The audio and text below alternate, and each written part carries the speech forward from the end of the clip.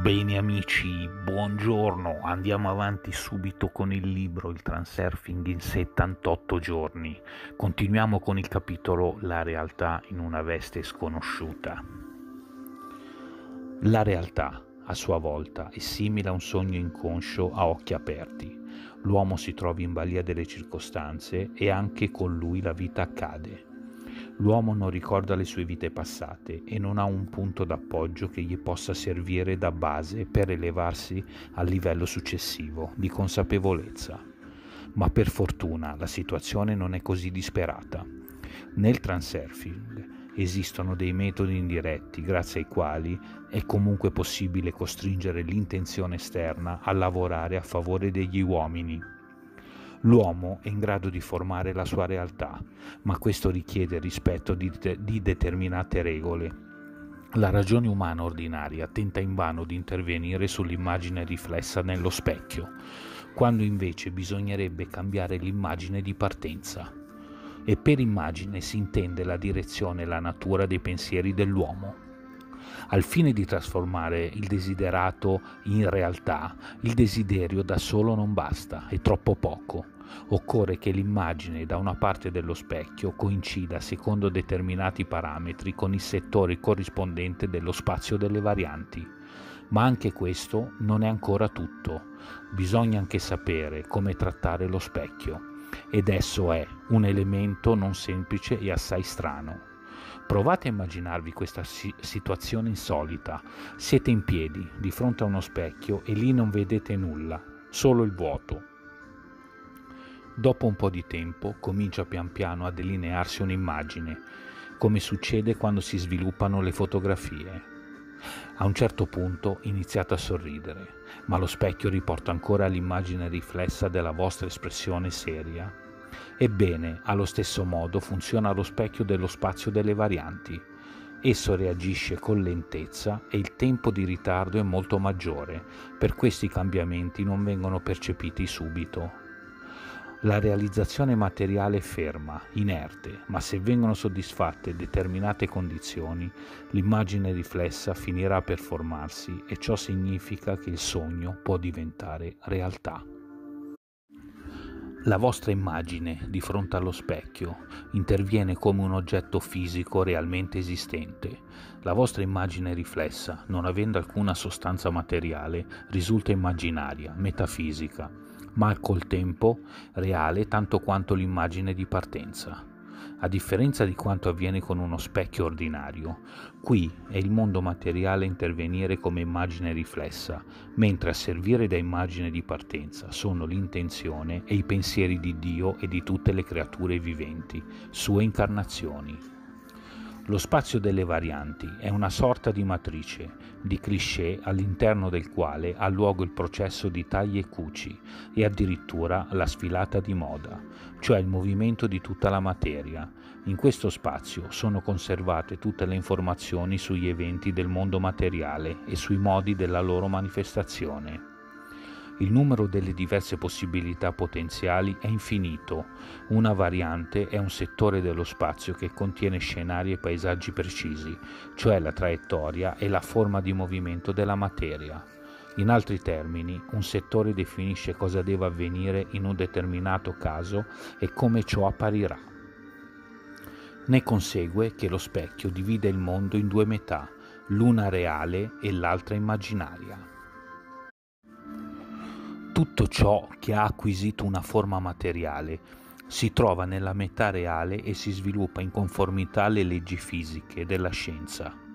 La scienza, come pure la visione abituale del mondo, ha relazione solo con ciò che avviene nella realtà, dove per realtà si intende tutto ciò che si presta a essere osservato e a subire un'azione diretta.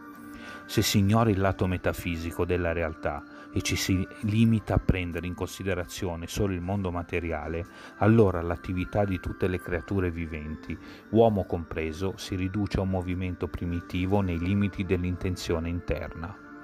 Utilizzando l'intenzione interna, il fine viene raggiunto mediante un'azione diretta sul mondo circostanze. E ciò significa che per ottenere qualcosa basta intraprendere determinate mosse, spingere, farsi strada gomitate, aprirsi un varco. La realtà materiale è concretamente tangibile, reagisce istantaneamente all'azione diretta e questo crea l'illusione che solo in questo modo sia possibile ottenere dei risultati. Tuttavia, nell'ambito del mondo materiale, la gamma dei fini realmente raggiungibili è ristretta. Tutti vogliono ottenere tutto, ma per tutti non basta, si può contare solo, solo su ciò che è disponibile.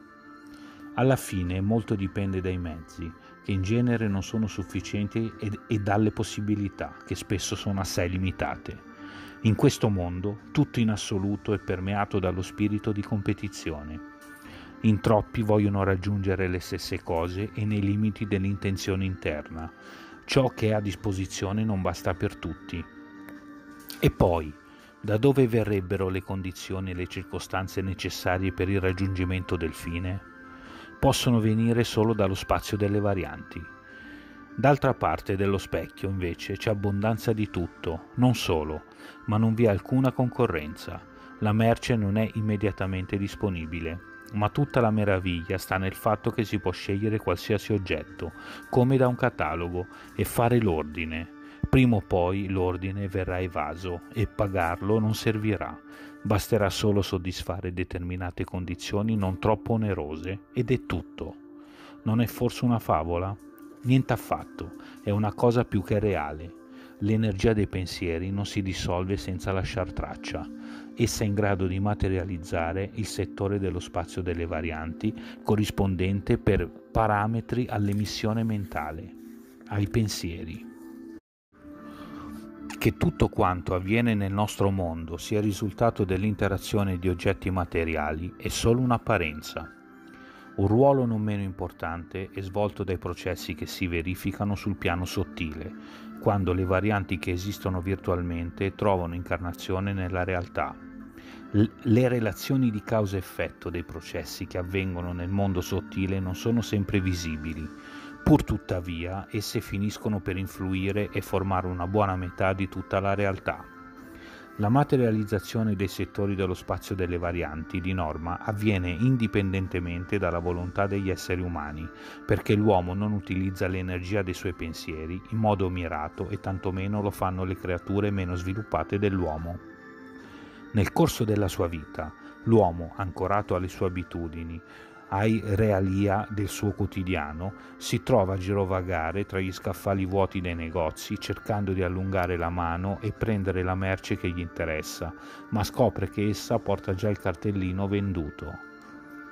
A disposizione sono rimasti solo prodotti di seconda scelta, di qualità scadente, e anche per questi bisogna pagare un prezzo alto e invece di sfogliare semplicemente il catalogo, quello della merce dall'altra parte dello specchio, scegliere la merce e fare l'ordine, l'uomo comincia a girare in modo sconclusionato, a cercare il lungo e il largo, a occupare un posto in una fila chilometrica di persone a farsi varco tra la folla e a litigare con venditori acquirenti.